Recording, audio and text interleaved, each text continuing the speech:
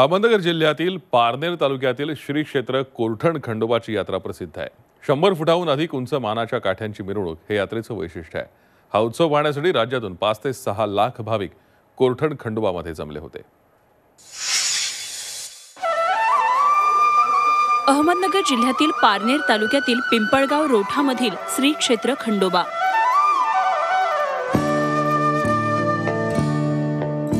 स्वयंभू तांदळासमोर बारा लिंग अशा या देवाचं दर्शन घेण्यासाठी राज्यातून तसंच राज्याबाहेरून भाविक येतात. तीन दिवस चालणाऱ्या यात्रेची नुकतीच सांगता झाली. यात्रेत पालखीचं दर्शन घेण्यासाठी लाखोंच्या संख्येनं भाविक आले होते. या यात्रेचं वैशिष्ट्य म्हणजे बेल्हा ब्राह्मणवाडामधून येणाऱ्या मानाच्या उंच उंच काठ्या.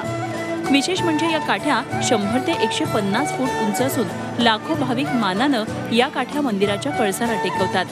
पालखी सोहळा पार पडल्यानंतर मानाच्या काठ्यांचं दृश्य पाहण्यासाठी जिल्ह्यासह मुंबई नाशिक ठाणे पुण्याहून देखील खंडोबाच्या भक्तांनी मोठी गर्दी केली. या ठिकाणी मानाच्या पालख्या येतात मानाच्या काठ्या येतात. आज यात्रेचे सांगता होताना बेल्ला ब्राह्मणवाडा आणि इतर ठिकाणी मानाच्या ज्या त्यांच्या मिरवणुका अत्यंत शांतपणे यशस्वीपणे आणि प्रशासनाच्या सहकार्याने सगळ्या मानकऱ्यांच्या सहकार्याने यात्रेकरूंच्या सहकार्याने आनंदामध्ये उत्साहामध्ये संपन्न झाल्या. या ठिकाणी जे जे कार्यक्रम होतात ते अतिशय नयनरम्य आणि बघण्यासारखे असतात.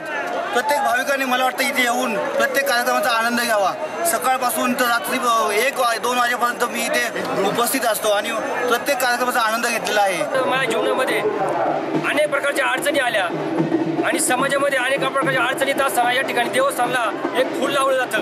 की देव मी हे करू का नको? कोणत्याही प्रकारचं काम असू द्या. या ठिकाणी चांगलं किंवा वाईट देव उजवं फुल जर दिलं तर त्या ठिकाणी ते- ते काम आम्ही सर्व भाविक भक्त करतो. आणि